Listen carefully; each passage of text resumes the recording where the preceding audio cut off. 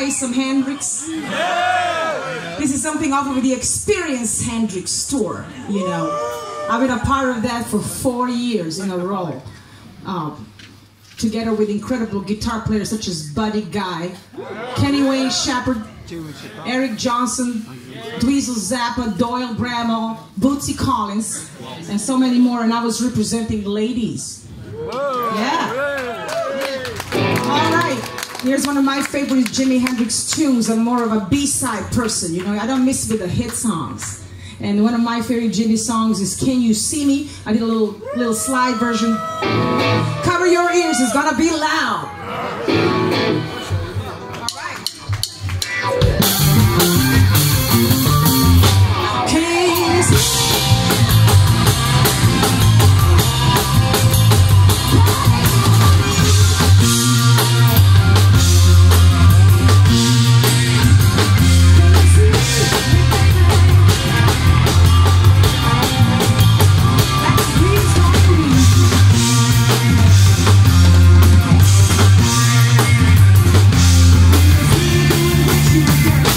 Future of a thousand years.